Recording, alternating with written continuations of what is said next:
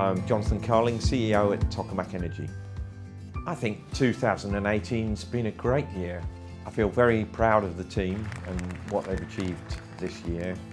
Like any technically advanced projects, there are lots of challenges along the way and the way that the team worked together and pulled together is, is fantastic. You, you couldn't want for a, a better group of people to be working with than, than this team.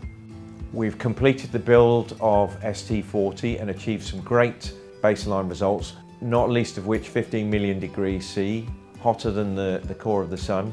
Not only did we see high temperatures, but we saw a very crisp, well-defined plasma, which bodes well for the confinement in the device as we get ready for the next stage.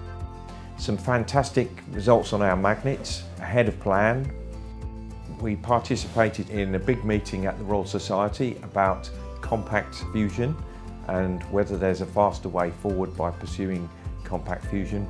And of course, we're a development stage company, so next year there'll be more fundraising. The company to date has now raised over 50 million pounds in funding.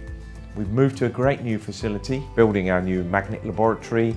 Some of our key goals, I think, for next year are to complete the upgrade of ST40 and really get started on the campaign towards 100 million degrees C plasma temperature and all of the other physics milestones that go with it. On the magnet front, we'll have even higher goals for magnetic field, but we'll also really start to get into developing magnets of increasing scale and energy level, and this is very important. I think another key goal for us next year is to make a lot of progress on the early work for STF1, our industrial scale fusion demonstrator. This isn't due to run until 2025, but it's a big project and we're already starting to do a lot of work on, on this device. You've got to say that we've had a great year.